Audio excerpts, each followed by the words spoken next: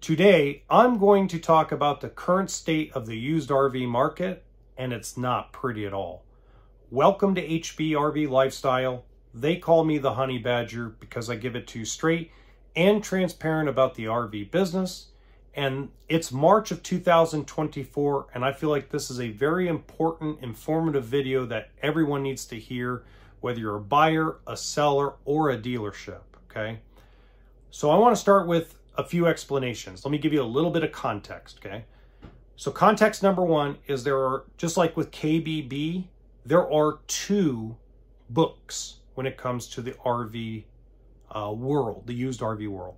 So there's JD Power that's for free, and there's JD Power that dealers and banks pay for. Okay. So there's what the pretend value is, and there's the lending value. Notice I made a rhyme. Now, what I don't mean literally pretend value because at the end, you, you know, whatever somebody's willing to buy a unit for is what the perceived value is, okay?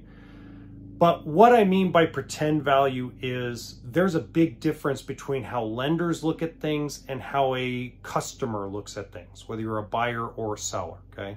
The first thing is, is a lot of times we have the habit of click on every single option on JD Power or the old NADA guide to come up with a value or some kind of some kind of MSRP or sticker price on a used RV of any kind, toy hauler, travel trailer, motorhome, etc.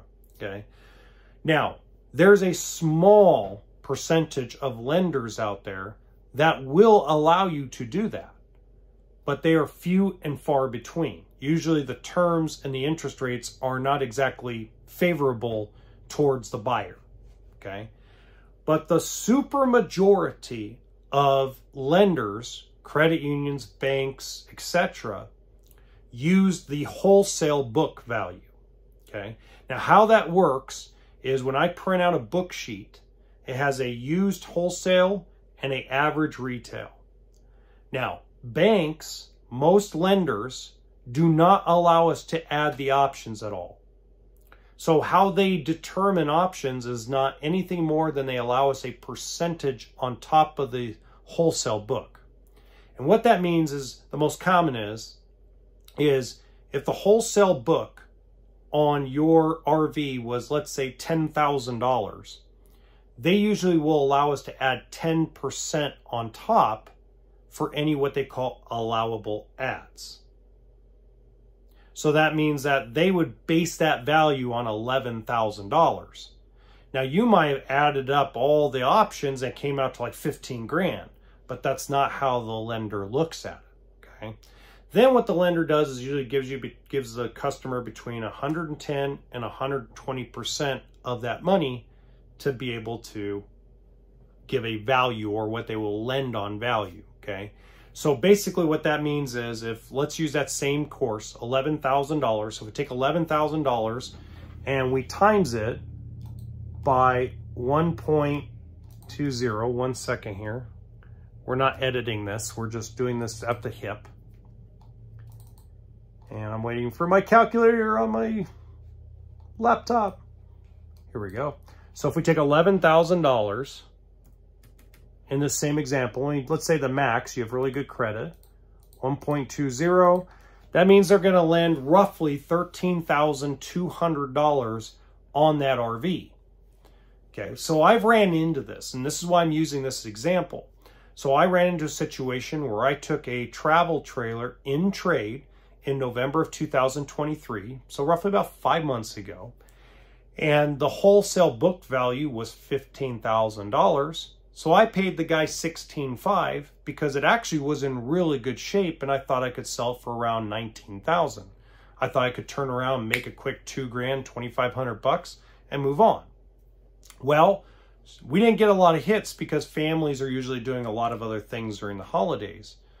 But we finally have started getting some folks in and we finally had like five people that want to buy it this month. But I couldn't sell for 19 grand anymore because I would need six or seven thousand dollars down to sell it for 19 grand plus tax. So I had to lower it down to 14.5 and I ended up taking a $2,000 loss. Now, this is something that's going to be very common with a lot of dealerships out there, especially if they own their used trade-ins in cash, like my boss owns ours. So I'm not one to worry about profit in that respect. That's more about cash flow, and that's normal.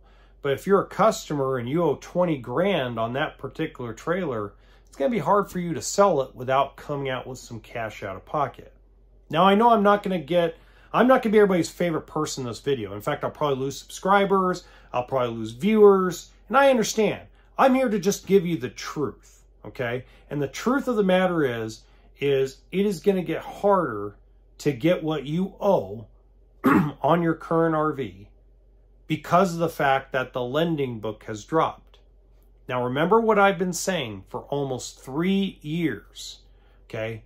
That the difference figure between what dealers were selling new for and what your trade in value was hadn't changed since early 2021 until this month.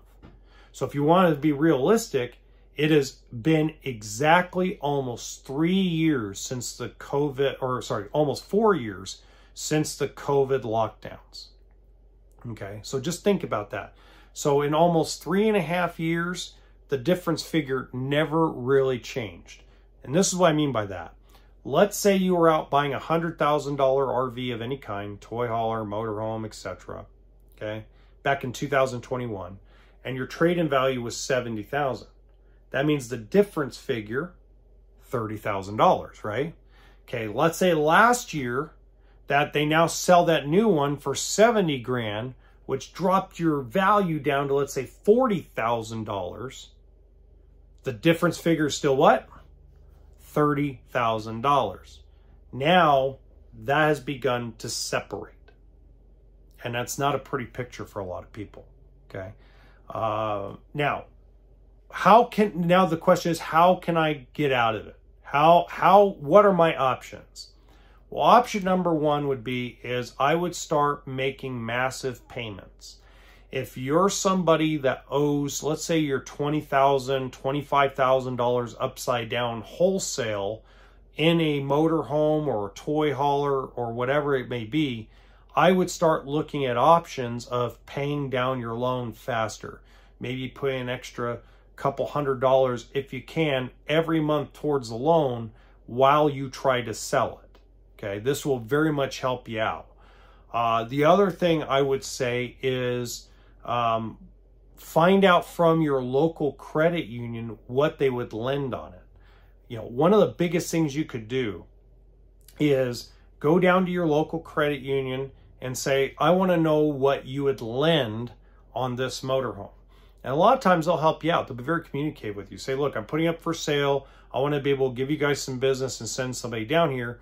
What would you be willing to lend on my motorhome or on my toy hauler, etc.? Because what that's going to do is give you a frame of mind. Now, let's say they allow you to click on a lot of the options on the retail side of the wholesale book. That's an advantage for you, and you know where to send people if they're financing your RV. Because remember this, guys. I know that everybody trashes me and tell me, just pay cash, just pay cash, just pay cash. If everybody paid cash for an RV, there would be no RV industry. 70, and now the number 78% of RV purchases are through RV financing.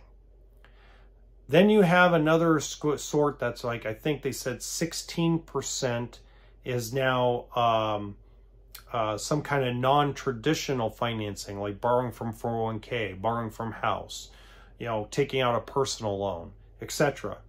Only about 4 to 7% of the population of the United States and Canada can afford to actually write an actual check and it cash to buy an RV. So are we only supposed to sell RVs to people in the top 4 or 5% income bracket? No, we're not. This is supposed to be something for everybody.